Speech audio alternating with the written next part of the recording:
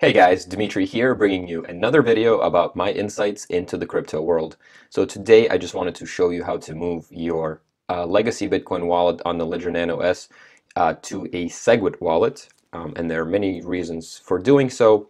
Me personally, I just want to save on fees. So that's why I'm moving over to SegWit. So I just wanted to show you how um, easy it is if I run into any issues because I have not done this before and what the fees will look like when we transfer our funds from the legacy wallet over into the new SegWit address. And it's actually not a very complicated process. All you're doing is you're moving your funds from an old address, which is the legacy one, to a newly created address for uh, the newly created SegWit address um, and storing your funds there. And then later on, you'll be doing all the transactions on this new SegWit address. So I'll leave a link in the description to um, the Ledger Nano site with the detailed instructions of how to do that, and that's what I'll be using for the migration. And as you can see, they give you uh, a background of what SegWit is. It's basically a software fork that was released on August 24th.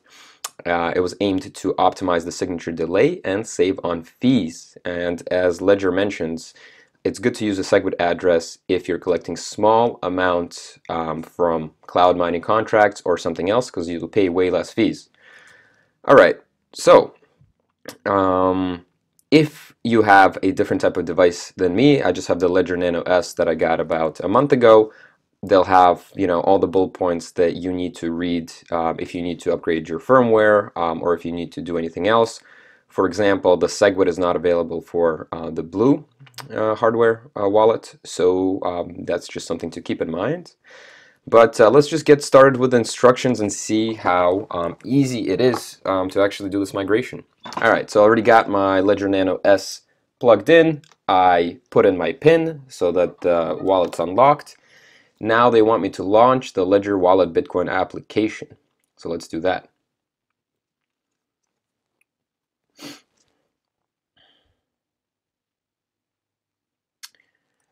All right, so now they want me to, so the next step is, um, I actually kind of jumped ahead, uh, but it's connect your device, enter your PIN code, which I already did. So now they want me to open the Bitcoin application on the device itself.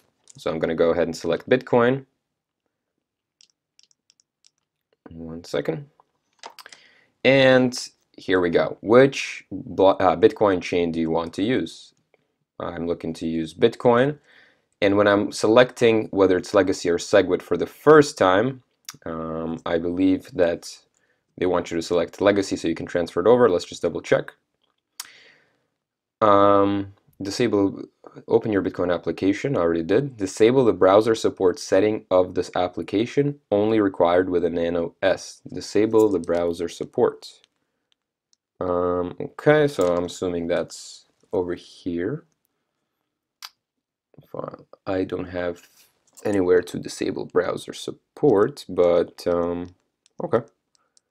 Let's skip that for now and follow the instructions.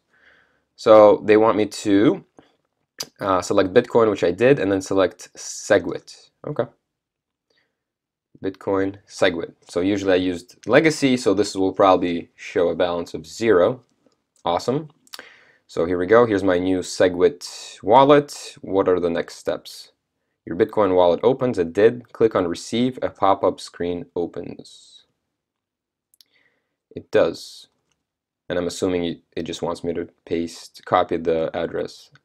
So copy the Bitcoin address which is displayed, close the receive window, click on settings and blockchains. Got it. Display address on device. I'll copy this for now. Let me double check it. 34S is correct. And then the last three are VSW. Yep. So that all looks good. I'm going to confirm that. Um, then I'm going to go into settings, blockchains, and I'm assuming they're going to want me to go into legacy now blockchains, then you're prompted for the home menu, select Bitcoin, not Bitcoin Cash, select Legacy, click on Send. Okay, so Bitcoin, now I'm going into the Legacy wallet, which is my regular wallet and not SegWit. And I'm going to click Send, paste the copied uh, SegWit address on the recipient field, fill in the amount, the fees, and, um, and send your transaction. If you prefer, you can also send Bitcoin on several SegWit addresses as it is an HD wallet. Warning to Bitcoin Cash users, never send Bitcoin Cash to a SegWit address generated on the Bitcoin network. You'll never be able to recover your funds. So guys, please be careful. Don't send Bitcoin Cash to a Bitcoin SegWit address. All right. For the amount, I'm going to send the max. The Bitcoin address is the new SegWit address, uh, prepended with 34S um, with the new format. Transaction fee is um, high for fast confirmation. I'm going to pay $2.29 um, and the amount of Bitcoin correlated to US dollars I have is uh, $602.77. Um, so that's actually, oh, I'm sorry, no, I have $605.06. So after paying $2.29 in fees, I'll be sending over $602.77. All right, so I'm going to click send. It's going to prepare the transaction. Let's see what happens here.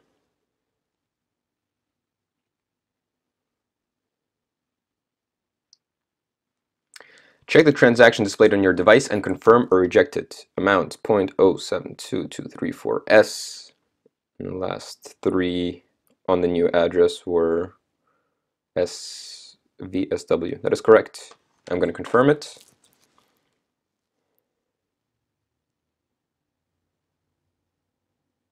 All right. So the sending has succeeded. I still see the funds. Are there any other instructions? Nope. Um, so that was it. Um, they're saying SegWit support for ledger products available on GreenAddress and GreenBits.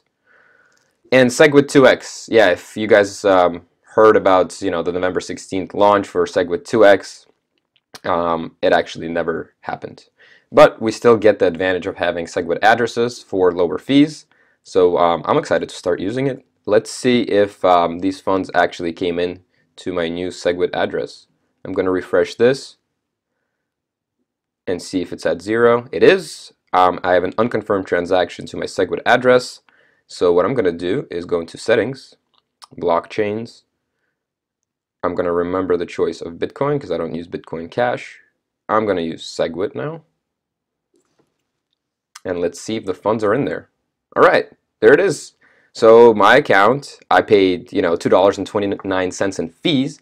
I have most of my Bitcoin in here, and when I receive any mining payouts from Genesis Mining, Hashflare, or anything else, I will pay a smaller fee. And it's just a matter of updating the Bitcoin addresses that you uh, are sending from to this new SegWit address by clicking receive, uh, that you can get by clicking receive, display an address on device, and copy it over here. You know, they, uh, they change from time to time to your account. They're always associated with your account, so you might not always see the same address every single time. That was also the case for the legacy wallet. So don't worry if you're not seeing the same address when you're clicking receive. What is important is that you confirm this address on your device before clicking the check mark on the hardware wallet. Um, so that's it guys. After this, um, I'm to go ahead and uh, update all my addresses for payouts on any services that I used to have uh, my legacy wallet connected to. And just uh, as a heads up, you can use this wallet just like you did the legacy one in the past. You can send and receive Bitcoin with your new SegWit address um, the same exact way. So don't worry about any other updates. So this was it. It was pretty straightforward. I didn't run into any issues, so I hope you guys found that helpful. Uh, if you did, feel free to like the video and subscribe to my channel. Until next time, happy investing.